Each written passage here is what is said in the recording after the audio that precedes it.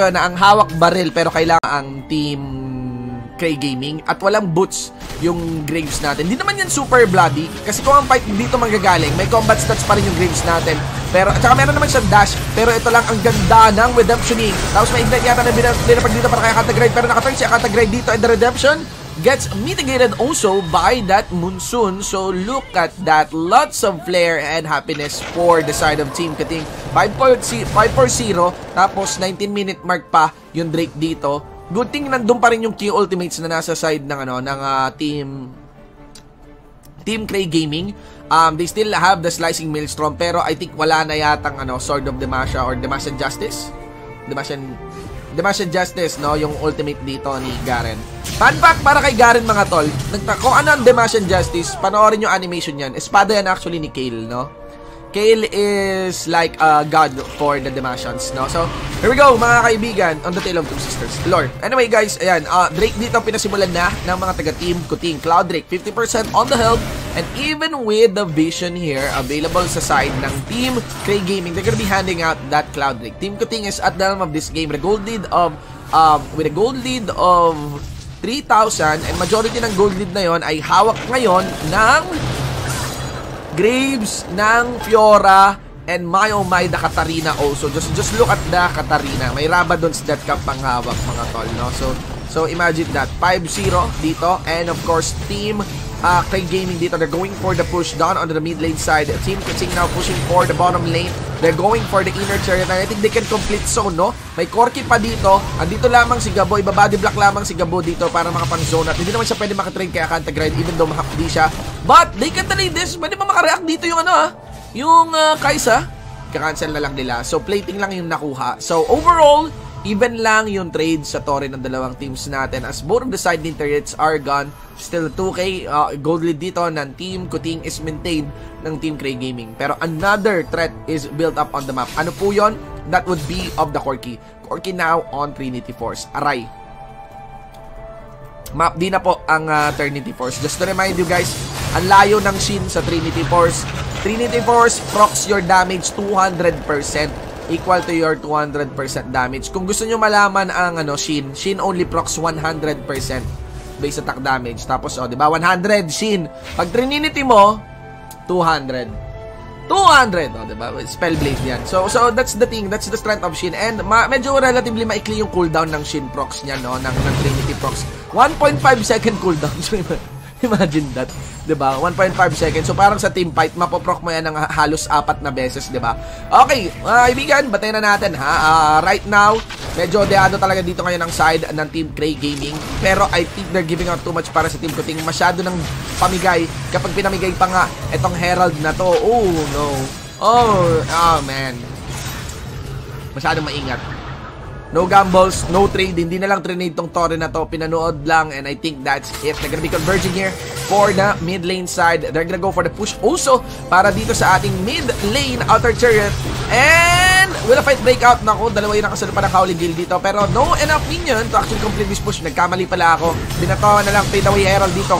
Gumante at kumatse yung Garen natin. Pero nakakap talaga ng Howling Gale. Grabe makazone out at Munson pa ng Howling Gale. Grabe makasustain dyan mga membro dito ng Team Kuting at pumasok na nga si Maring Kuting with the Death Lotus delivered in. The Death Blow is delivered not just on Lex but also onto the makeout kill at may enough pang buhay dito ang Herald Anderson para makabundol sa inner mid lane turret. Aba, hindi pa nabanatan! Bakit ka nag-cut yan rin Isang ikat yan rain na lang yung Herald. Pero okay lang, sige. Uh, there's still the damage. Hindi pa naman plating yan. Kailangan pa rin ng isang auto attack. Pero, may may, isa yun sa mga pinaka-efficient na Herald na nakita ko. Ayan, first honor, second, ayan, third honor, second honor, first honor. Nakarating sa dulo. Graduate yung Herald dito. So, man. Guys, pag may Herald, clear nyo agad yung Herald. Life of turrets hindi po nagre-regen, no? So, uh, pag nabawasan yung torre, malaking bagay yon sa mga kalaban. No? 7-0 for this running game. 6K on the gold lead here by Team K Gaming. Okay, andito sila sa may Gedli. 30 seconds para dito sa ano, 30 seconds para dito sa cooldown ng Ocean Drake. Ladies and gentlemen. Hmm.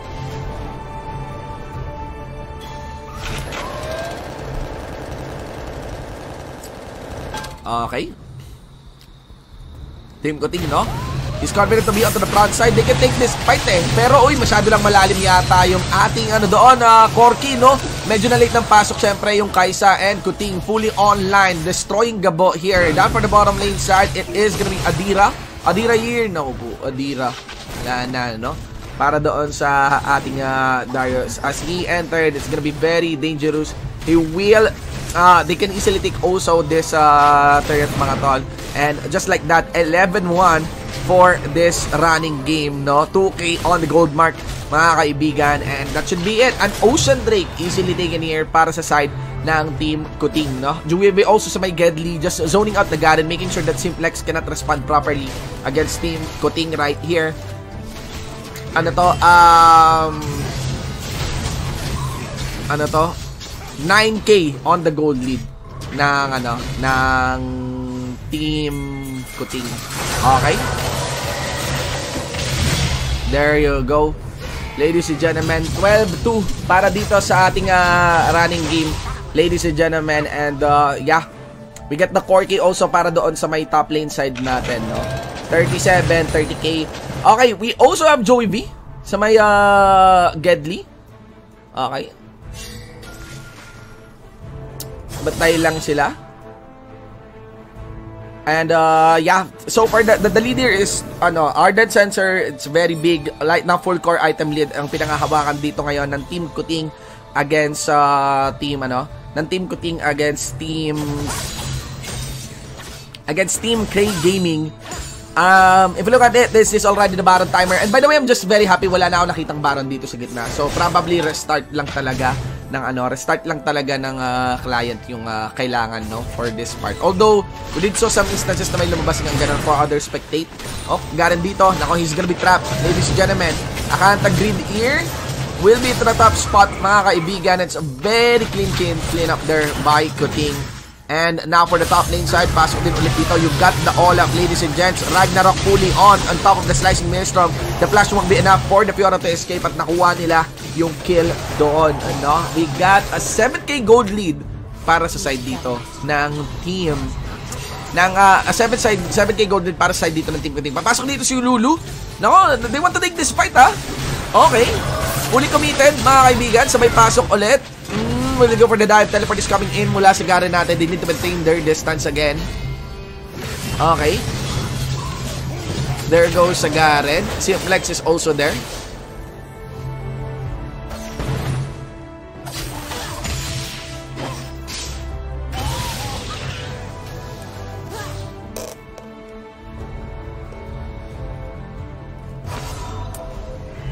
need to be careful para dito, no? 13-4 para sa game natin mga tol. And, uh, sige, silipin ulit natin ha. Um, right now, you got the Fiora also onto the bottom lane side, no? For, for this game, no? And, let's see. Um, we got the, ano? Kung i-account natin kung paano yung comeback dito, actually, ano eh, different individual fights yung nakakuha ng Team Kuting dito. Plus, ang laki talaga ng lead nila. Simula pa lang at simula doon sa may mid-game side natin. Um, right now, there is a demand na ano talaga, kailangan mak mak nakuha naman ng scale, nakakuha naman ng decent scaling dito yung mga membro ng uh, Team Play Gaming. Ba oh! Ang ganda nung repose para doon sa Demacian Justice and that's it. Lex is gonna be clipped here as the Fiora escapes. That's within the Demacian Justice na nga, no? Uh, di ko lang alam kung ginawa niya yun sa may brush, it would have been a different story. Pero parang nakita yata yung animation para doon sa, ano, sa repose, no? So, there is that. They're gonna be maintaining their distance once again. And dito ang ating Graves. Lalayo na lamang sila. 14-4 for this running game, ladies and gentlemen. 20 seconds bago lumabas itong ating Infernal Drake. And right now, Team Kuting is gonna be doing it in the bag, no? Um, Let's see here. We have the Olaf, mga kaibigan. Olaf comes in. There is gonna be the slicing from coming in para sa Kennen natin. And Team Kuting is totally cleaning up. It's a quadra kill ba dito para kay Maring Kuting. And I think it would be an easy take also by the Herald din para sa kanila, mga kaibigan. 18-5 for this running... Ay, Herald, Infernal Drake. And would be a very, very easy game for them, no? So, uh, patayin na 13-0 um, it's a matter of time before they go for the push on this one. And remember that the gold lead here is very big that isang tore lamang yung wala. na wala para sa Team Kuting. They're gonna go for this Infernal Drake as well, ladies and gents, no? So, ano nga ba to? 9K, 12K, 13K on the gold lead. Ladies and gentlemen, no? Man, heavy. Okay.